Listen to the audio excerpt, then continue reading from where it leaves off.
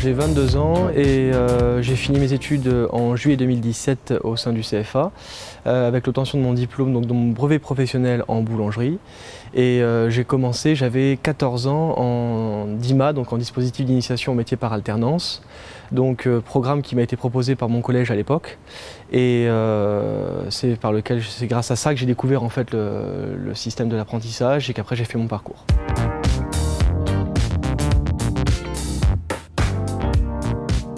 Euh, je ne me fondais absolument pas dans le système scolaire, j'avais euh, des difficultés à rentrer dans le moule, c'est souvent ce qu'on entend. Euh, j'étais en plus de ça dyslexique et dysorthographique, donc dans des classes à 30, c'était très compliqué pour le professeur de, s'occuper de moi.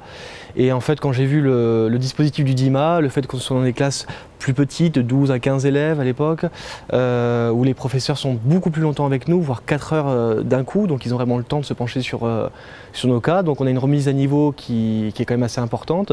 Euh, et après, on nous permet de découvrir en fait tous les métiers de l'établissement. On n'est pas vraiment cantonné à un métier. C'est ça l'avantage du DIMA, c'est ce qui m'a plu, c'est cette, euh, cette, polyvalence, le fait que si demain j'ai trouvé une autre entreprise, ben, je peux changer.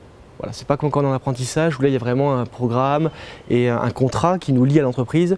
Le DIMA, on est vraiment beaucoup plus libre et on peut aller là où ça nous intéresse. Et une fois qu'on a trouvé le corps de métier qui nous plaît, ben, on revient au CFA pour dire voilà, l'an prochain, je veux faire de la carrosserie, je veux faire de la boulangerie, je veux faire de la pâtisserie. J'ai fait du bâtiment, j'ai fait de la charpente et euh, j'ai fait de la pâtisserie, de la chocolaterie, de la confiserie, de la glacerie et de la boulangerie. Et c'est la boulangerie qui m'a le plus euh, intéressé.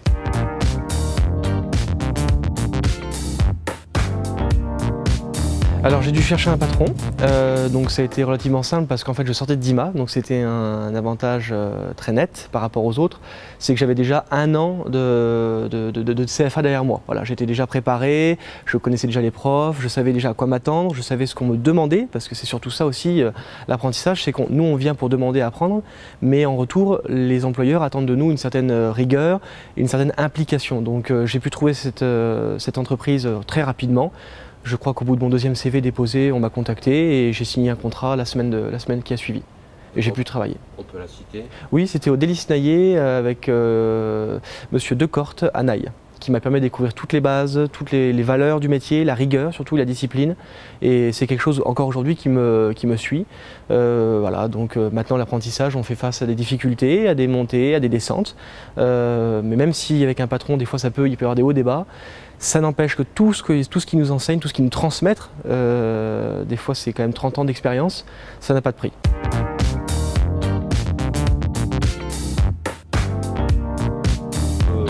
Les points positifs, il y en a, plein.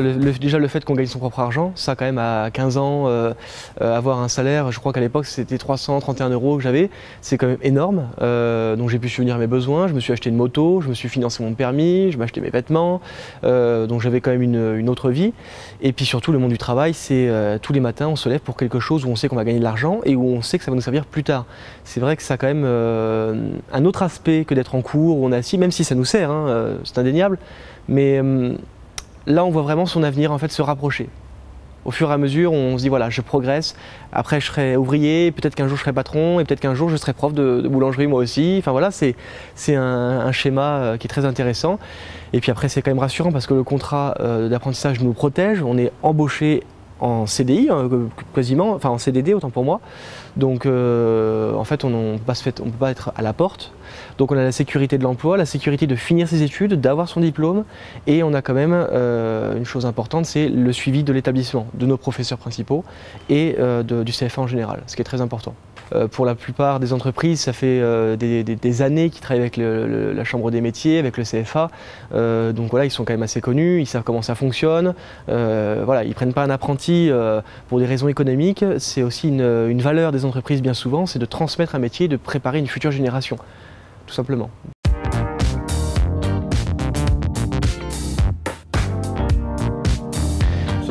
Les, points négatifs, bah, c'est comme voilà, quand on a 15 ans et qu'on doit se lever à 4h du matin, c'est dur. Mais ça forge le caractère, ça forge euh, une certaine rigueur et plus tard, euh, mais souvent à 18 ans, 19 ans, euh, on ne nous pénalise pas par l'âge parce que c'est quelque chose qui est très pénalisant l'âge. moi j'ai horreur qu'on me demande mon âge par exemple, mais les entreprises quand ils voient mon CV, que voilà j'ai 22 ans mais que j'ai fait toutes ces entreprises, que j'ai eu tous ces diplômes, que j'ai eu toutes ces expériences, il n'y a pas d'âge, là il n'y a pas de question d'âge, c'est où est-ce qu'on signe?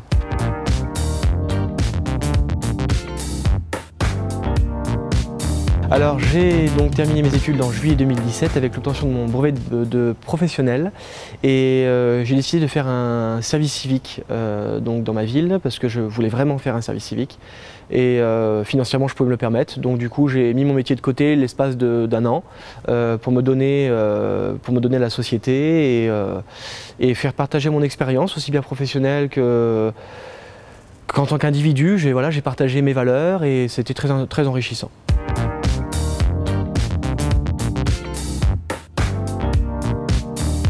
Alors, la suite professionnelle, il n'y a pas de souci, c'est très simple. Je pars normalement en septembre ou en octobre en Angleterre, travailler pendant un an dans un hôtel. Euh, je pars pour apprendre l'anglais. Et pour un projet en fait euh, assez simple, c'est que, enfin c'est simple. Dans deux ans, je voudrais aller en Chine pour monter une entreprise. J'ai déjà des contacts là-bas. Euh, évidemment, ces personnes que j'ai contactées, quand ils ont vu là d'où je venais, c'est-à-dire le CFA, les diplômes que j'avais, l'expérience que j'avais, euh, les concours que j'avais gagnés par exemple, euh, automatiquement ça a été carte blanche déjà auprès des banques, des assurances. Donc j'ai la possibilité de monter une entreprise en Chine pour pouvoir faire du pain là-bas ça devrait le faire, il n'y a pas de raison. justement, avec tout ce qu'on m'a enseigné, tout ce qu'on m'a transmis, la rigueur est là et l'envie surtout est là. Donc euh, voilà, j'ai envie de prouver à la société que c'est pas parce qu'on sort d'un CFA qu'on est cantonné à travailler dans, une petite, euh, dans un petit village ou qu'on est cantonné à faire des métiers, euh, des sous-métiers comme on dit souvent. Chose qui me, qui me fait beaucoup de mal parce que j'ai dû vraiment me donner, ça m'a pris du temps, c'était difficile, ce n'était pas donné et, et j'aimerais voilà, avoir une certaine revanche sur la vie et prouver aux gens qu'on peut avoir un CAP, une mention complémentaire et un brevet professionnel qui sont des métiers, des diplômes professionnels, mais très bien réussir sa vie.